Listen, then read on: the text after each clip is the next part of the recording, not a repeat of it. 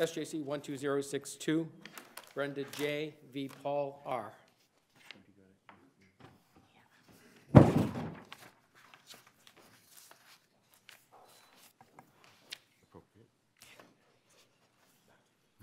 Thank you.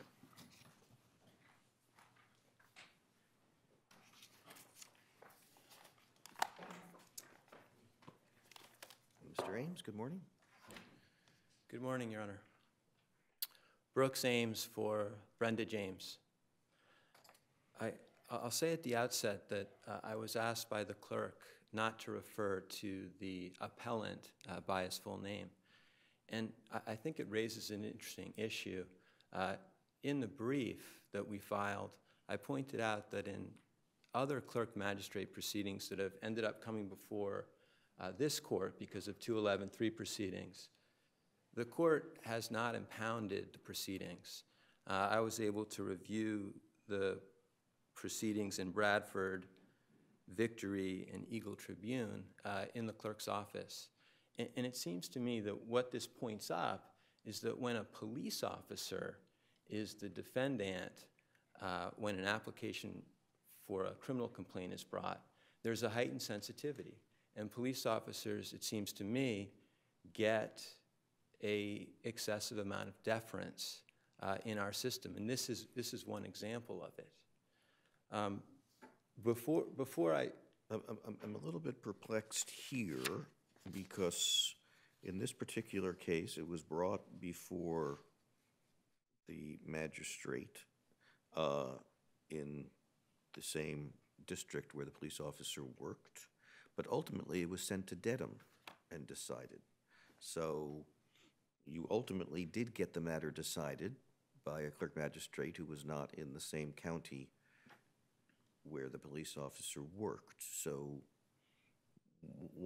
you can, you can argue that it should, that should have happened earlier, but since it did happen, what's the problem? Well, we're, uh, we're asking the court in its, in its capacity as supervisors of this system and the lower courts to have a, a little imagination here uh, and, and, and take our point, which is that a clerk magistrate, it doesn't matter whether the clerk magistrate is in the same jurisdiction as the police officer or not. The potential conflict of interest remains. And what the Supreme Court has said, and I think this court ha- acknowledges, is justice must satisfy the appearance of justice. And Why isn't review by the district court judge adequate? In this case, given the travel of the case, a clean break is necessary. A new judge in a new, in a new jurisdiction must hear the case to satisfy the appearance of justice. This is not a case where Bradford is sufficient on its own. We've gone too far uh, down the line in this case.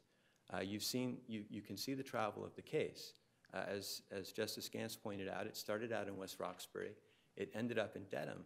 But there was a long detour in the Charlestown District Court, almost three years in the Charlestown District Court, which began with the case sitting in the clerk's office without a docket number for 11 months. Now, it seems to me that there is some supervisory obligation to look into irregularities like that. And from Ms. James' perspective, when you have a travel of the case that's tainted by that kind of delay, uh, unexplained delay, uh, it creates a question about the appearance of justice. I have a couple issues um, to- to ask you about. Um, The the first one is is this, um, and I'll just ask both of them, they're pretty straightforward. The first one is, uh, the the case is the Commonwealth's case. It's not the plaintiff's case, and nothing can make it the plaintiff's case. This is the Commonwealth's case. But the second point is that we have a statute that when a misdemeanor happens, allegedly happens outside, you know, the presence of the police, um, uh, that um, before there can be a criminal complaint, and there are exceptions, um, that there's a right to a clerk's hearing. So if you decide to be a police officer and go out there every day and, and risk your life, you don't get the same protection as every other criminal defendant. Well, I, I, I'm, I'm not sure that's. Well, Correct. Before a criminal complaint issues for a misdemeanor outside the presence, there, there's a, there's a statutory right to a clerk's hearing. I understand there's exceptions to it, but there's a statutory right to a clerk's hearing. You agree with that, don't you? I, I do, Okay. I do. And that wouldn't happen here, and you would say it would happen before the district court judge. It, it, it would happen before the district court judge, but it would be the same protection in that Where would it, where would it take place? It would take place in, in the court. In the public? Yes, Your Honor. So the police officer gets less protection than everybody else? The, the police officer should get less protection in this instance where they're acting as a police officer. They're not acting as an individual citizen. This is not the, the, the, the- the, the nitty-gritty of the district court where you have lots of neighbor complaints and relationship complaints. This is a complaint brought against a police officer, in this case, a captain, So you've got a completely, we've got it completely reversed if we've come out your way. So the plaintiff, who doesn't have a right to bring a complaint, uh, um, it's, it's the government who brings the complaint, um, is requesting that a criminal defendant not have a right that criminal defendants have for misdemeanors. Well, I don't know if it's a right. I mean, it's in a. The statutory, right, there's exceptions. it- What is it? Thirty-five A? It's, the, the, the right is to have your case to determine whether there's probable cause that you have committed a crime.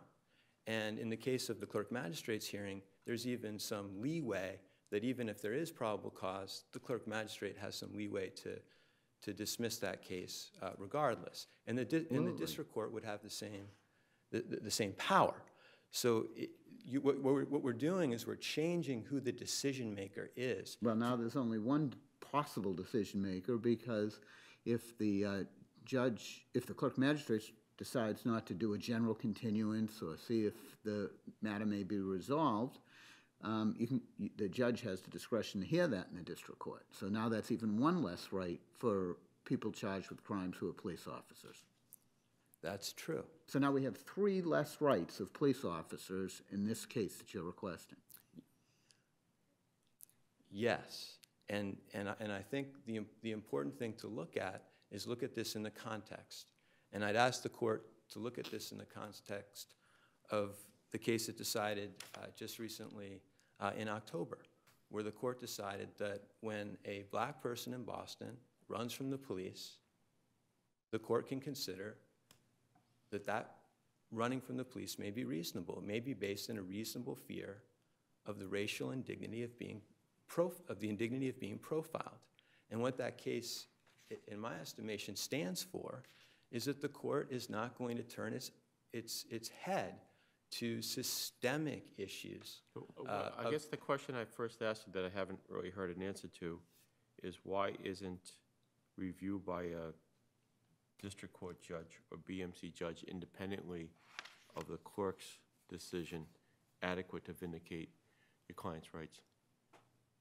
In this case, the answer is that the travel of the case I, has. yeah, I, I understand that was the first, ti- you, you said that the first time, but I, I just want to say, if, if you're asking us to use our superintendent's power and to take this out of the hands of the clerk magistrates, why are district court judges and BMC judges ill-equipped to make unbiased decisions? No, I think, I, I, if, if I've suggested otherwise, I, I don't mean to. Uh, I believe that that is an adequate remedy for Ms., J- for Ms. James, and in the, in, in the run of cases, I'm not asking a single justice to decide every case that's brought against the police. In this case, because there had been so many irregularities, uh, including uh, an order from the administrative justices saying that Ms. James was entitled to a Bradford hearing, but she never got one. Given that there were these irregularities, it seemed that the best thing to do was to bring it up uh, and, and have a neutral justice, single justice, decide the facts of the case.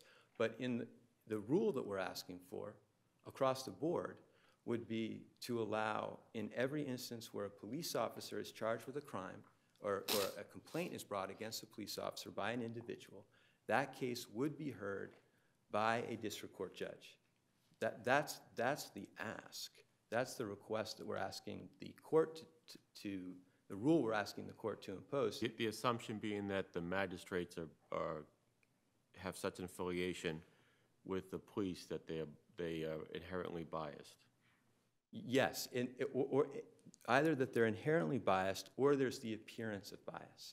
And there's, there are, uh, in, there, there's the relationship which comes, there's a financial relationship. Uh, police officers call uh, clerk magistrates to come as bail commissioners, so they receive a fee for uh, setting a bail. That's a financial relationship. That, that relationship goes beyond just the jurisdiction because we know that law enforcement is a fraternity. Uh, and a clerk magistrate may have pause in deciding a case before uh, that's possibly a criminal complaint against a police officer. Clerk magistrate may have pause. Is this going to affect my standing uh, in this court with, with the, uh, my duties as a bail commissioner? That's a serious concern. And I think the appearance of justice requires that these cases be heard by a neutral judge. And there are, there are many issues that this particular case raises about, uh, about, about the credibility of police and how, who is responsible for assessing that. In this case, Afraid your time is, is up, but I'll, I'll give you a uh, the last sentence. all right, I, I, I don't want to lose track of Ms. James. Ms. James worked as a Boston police officer for 19 years. She was a community service officer. She built ties with the community, made arrests, risked her life. She had no suspensions until the incident that gave rise to the case that's before you. Uh, the suspension that was handed out to her by the captain on the same date of the incident that she brought this complaint concerning was later reversed by the commissioner. So this is not someone who ran into court uh, on a whim. This is someone who is looking uh, to the court for justice and has been pursuing this case diligently and persistently for a long time. Okay, th- thank you. Mr. Louison, good afternoon.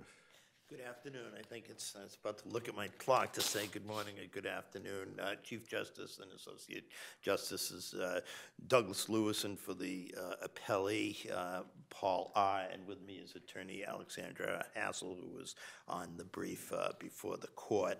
Um, what this petition, and we're here before the court to ask this court to deny the petition of the appellant, uh, with no support in the record, but a, a Google search. The, the appellant asked this court to abrogate the statutory scheme that works and has been working in Massachusetts that empowers uh, clerk magistrates in the district courts to hear exactly these type of probable cause uh, proceedings. Uh, in addition, as I believe the uh, Chief Justice asked, and perhaps uh, uh, Justice Lowy as well, the potential, and, and the best that appellant argues in this case is the, uh, the potential or appearance of a conflict because of the status of uh, the appellee as a uh, police captain, was addressed because initially, and, and, and in the, the history of this case is tortured for a, for a application, but it started in West Roxbury. The uh, appellant was represented by counsel, uh, never complained about the hearing going before the clerk magistrate of the district court. Uh, and then after that application was denied, uh, it ended up going to Charlestown.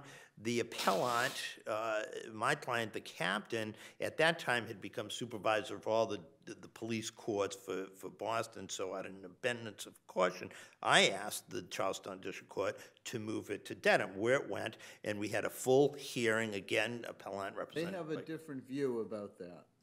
Their view is that, uh, that it went to Dedham because um, it was going to be a judge in Charlestown. Well, Your Honor, that, that, that is their view, but I don't think it's correct. There is a one handwritten note in the docket in Charlestown saying for judicial review. But if the court looks at the record uh, between um, Judge Driscoll in the, uh, in the West Roxbury Division, and then Chief Justice Johnson's memorandum and order, and then Chief Justice Carey's memo to Judge, uh, Chief Judge Ronquillo. Those all orders all said transfer for purposes of having a magistrate's hearing. If the, and the record is clear and it's before this court, they all say go to another magistrate under the standards for judicial practice, we'll send it out. Only one handwritten note in a docket, unknown by whomever, a clerk in the court says, uh, set up, essentially, in paraphrasing, set up for judicial review. When we finally got a hearing date in Charlestown, and it was an extraordinary delay, at no cause by the respondent uh, captain, I said, in order to avoid that issue again being raised, as it was raised in West Roxbury, let's go out, and it was set up and, and heard before the magistrate. And uh, under the standards of judicial procedure, which is what the clerks and the district courts were, were laboring under, there is a recommendation, it- and it's discretionary. It says the, where a police a complaint is brought against a police officer, strong consideration should be made to transfer it out of the, out of the um, that venue to an independent venue.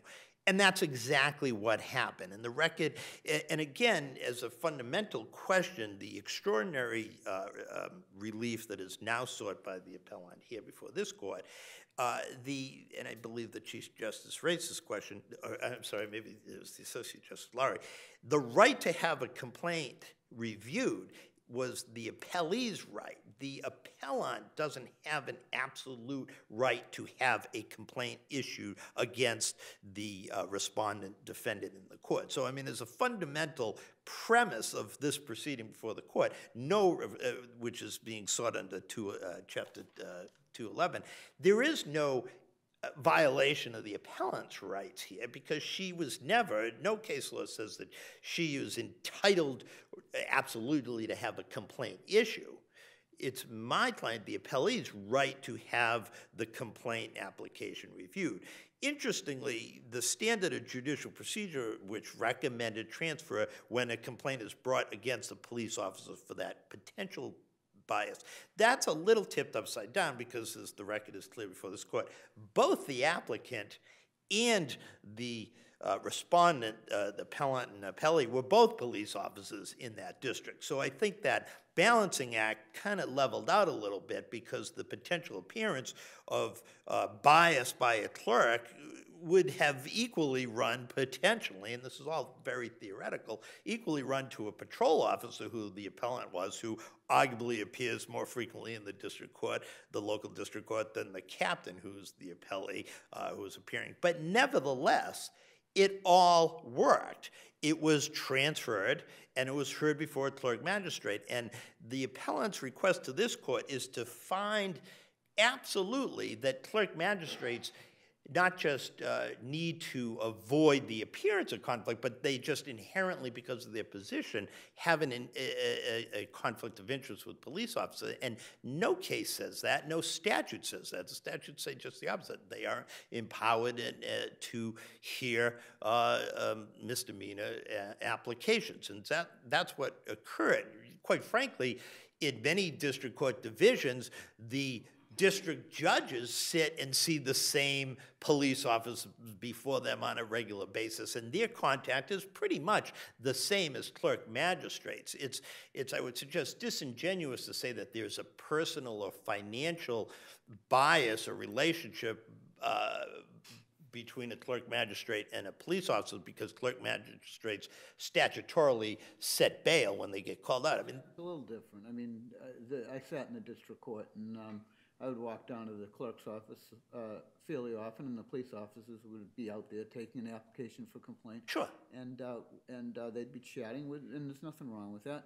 But when they came in, they testified in a motion to suppress. I didn't ask them how, what, how their kid did in the Little League game. And, and I'm not suggesting that there, there is that, but this, this entire petition suggests that, that a professional relationship where a clerk may be talking to a police officer, both in their professional capacity across the, the uh, counter, is ipso facto an absolute prejudice or bias or prejudice, and that's not the case. I understand. Your But- point's well taken. I'm just saying that it's not the same relationship as the judge. I- I- no, it's not, and, and you're right. There is that that that you know space between the, the the litigants and the court for sure, and that's why the standard of judicial practice uh, 302 for the district court exists, and that's why it was applied, albeit after the first hearing uh, didn't go the way the appellant wanted. It was applied secondarily and went to a full-blown hearing where the appellant was represented by counsel and did not raise at that proceeding that it should not be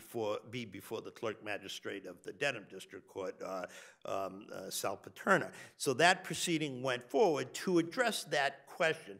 And again, now we're in in Norfolk County, uh, the appellant captain, uh, the appellee captain had no contacts with Norfolk. And so any potential saying, well, he's a police officer, well, in fact, she was a police officer too. So if there's a, some sort of suggestion that, well, clerks just are going to favor police because they're in the system, well, that that, that would have cut both ways, but unfortunately, that, that's all very theoretical. The record is completely absent of any suggestion that there was actual bias that took place or that the, the judicial proceeding that took place, uh, heard by the uh, magistrate, was biased in any way or that the appellant therein in that, that uh, proceeding was limited or prejudiced because of the uh, respondent captain's capacity as uh, uh, capacity. But extraordinarily, in this case, the, the appellant is asking not just for this court to abrogate the statutory scheme,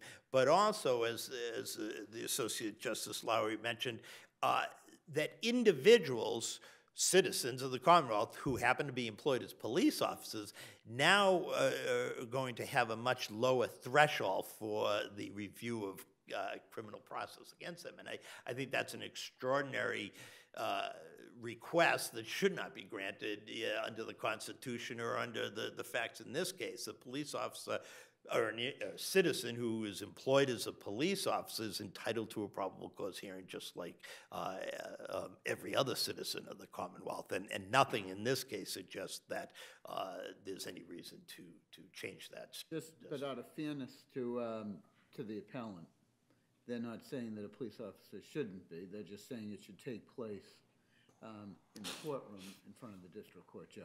They're Which not- changes- They're not saying that they shouldn't have that right. Right, but, but there is a reason, we have to assume there's a reason why the statutes were structured as they were for the Don't get to argue again, and I, and I just, they're not asking that. They're not asking that, but they're asking that to change, maybe not lower, uh, Your Honor, the threshold or the standard, but change it for a one category of citizens in the Commonwealth. You're, you're right, I'm not suggesting they're, they're seeking to uh, take away the probable cause standard. Okay, thank you. Thank you, Your Honor. Thank you for your time. Court, all rise.